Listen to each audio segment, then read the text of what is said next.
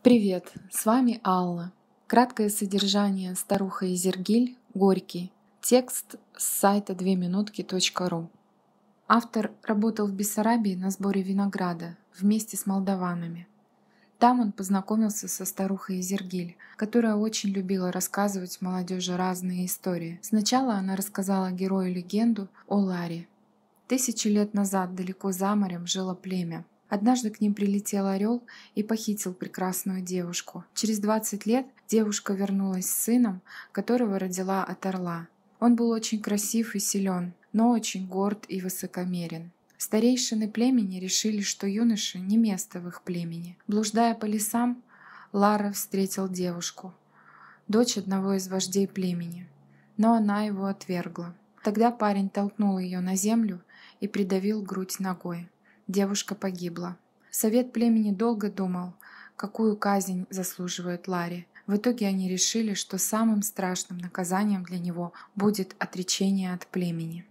Так юноша стал совершенно одинок. Он не мог умереть и убить себя сам. Так и скитается Лара по сей день и не может найти себе покоя.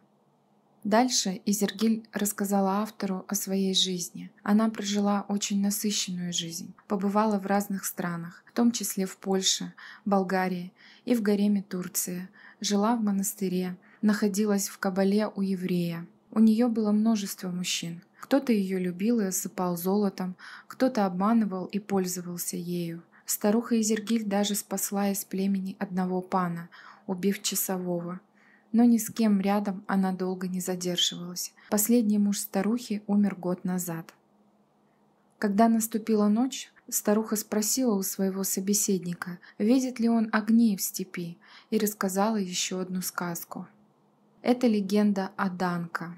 В давние времена жило веселое жизнерадостное племя. С трех сторон их окружал непроходимый лес, а с четвертой — степь.